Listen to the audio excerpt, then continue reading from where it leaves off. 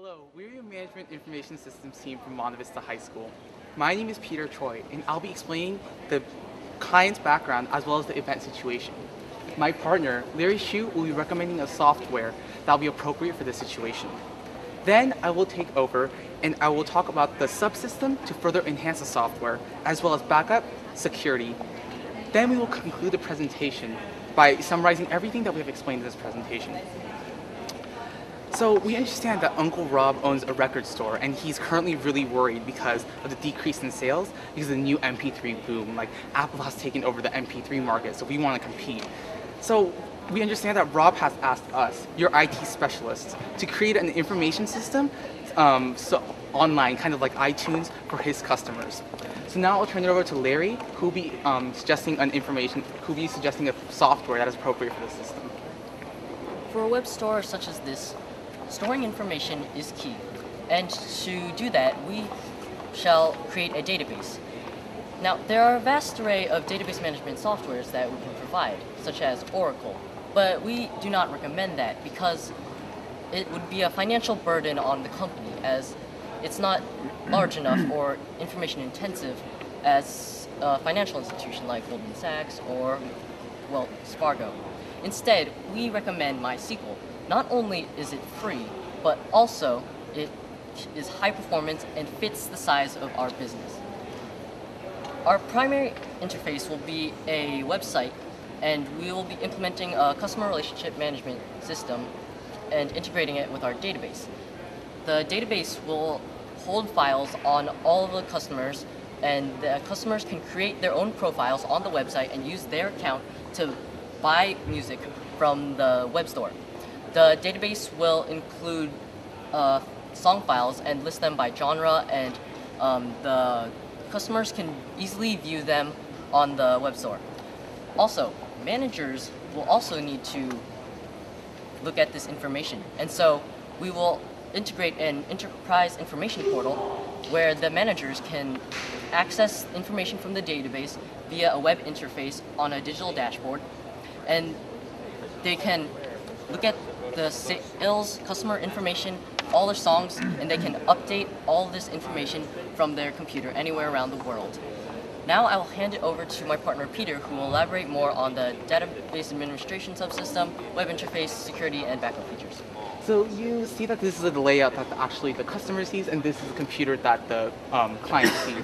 So right here will be a search engine bar where anyone will be able to easily type in any type of music uh, that they would like to see and there'll be a lot of list of like bunch of titles all listed in alphabetical order. Then if the customer wants to see it by different types of topics such as um, title, year, year released, or category, then just like a Microsoft Excel, they just have to click the top button and it'll start categorizing by alphabetical or numerical order.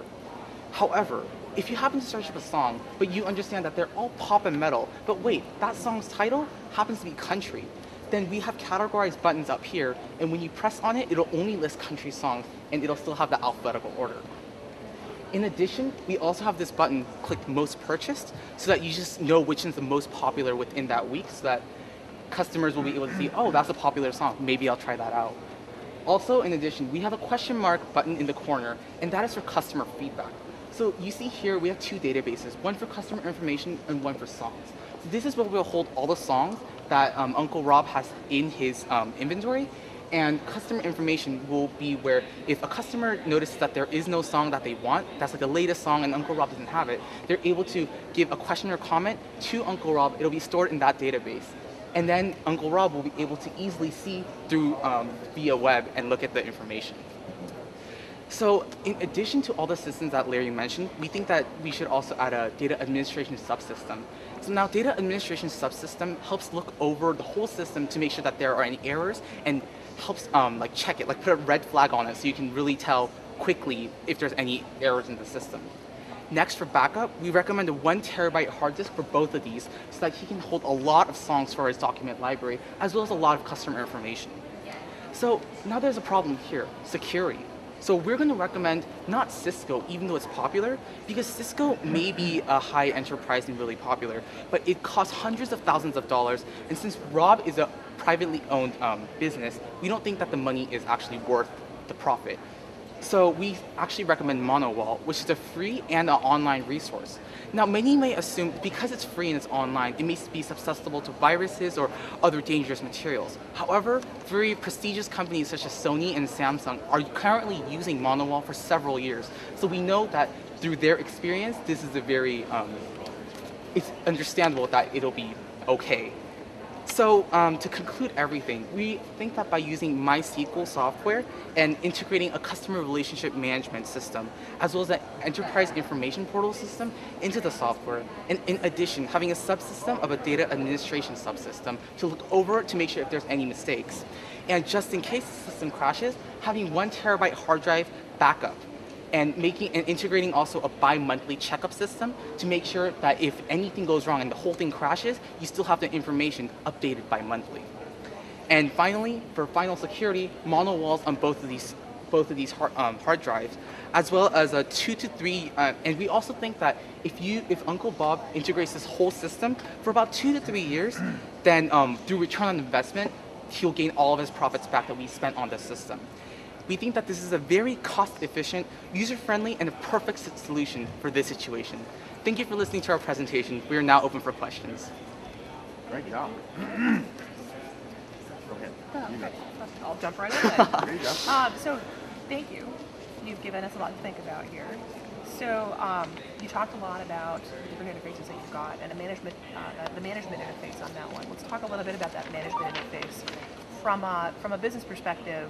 How's that going to help me? You mentioned ROI. What do you see as the most important information that I'm going to be able to pull from that management reporting tool?